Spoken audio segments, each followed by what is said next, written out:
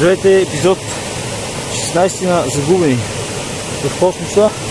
Обърхме тотално маршрута и тръгнахме през една чудесия, която всъщност е началото на Лясковската река. От южния край на масива, който е всъщност Копривките, връх Руен.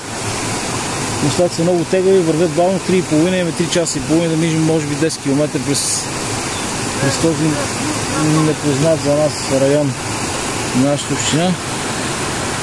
Но въпреки всичко се надявам, че успаваме. Времето е много гадно, задушно, да не завали.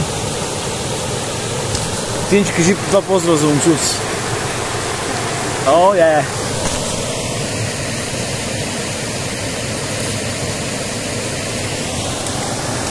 Продължаваме през тази чудна местност, която виждате какви красоти крие в себе си.